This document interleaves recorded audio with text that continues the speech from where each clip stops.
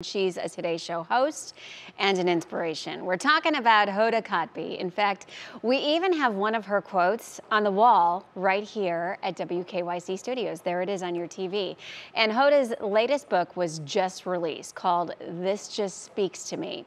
It's a book of quotes that she's collected over the last year. And I had the honor to uh, chat with her about it.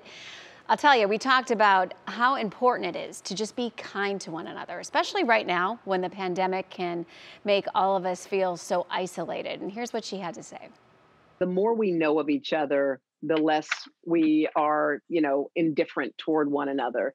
There's a great quote I love, and it's um, it's it's tough to hate up close. So if you can get close to people, um, maybe not physically close, but even emotionally close, and just be open and you know, it's funny. One of the best phrases for to, to say to somebody when you're having a conversation is, "Tell me more."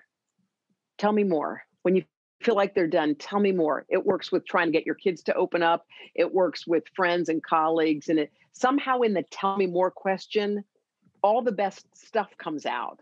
So I feel yeah. like sometimes the fewest words might elicit the most emotion, and that's kind of what this this book is about. Don't we all need that right now? So this just speaks to me has 365 quotes. So you can read one every single day for a year.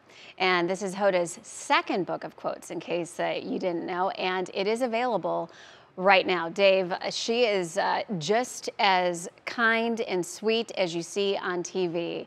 Uh, and definitely an inspiration. I have to say, you know, I, I love quotes, and uh, she posted that quote that she just talked about on her Instagram today. Mm. So, yeah, she's she's just something. Yeah, that's great to hear about her, Hollie. Yeah. Uh, and yes, you do love your quotes.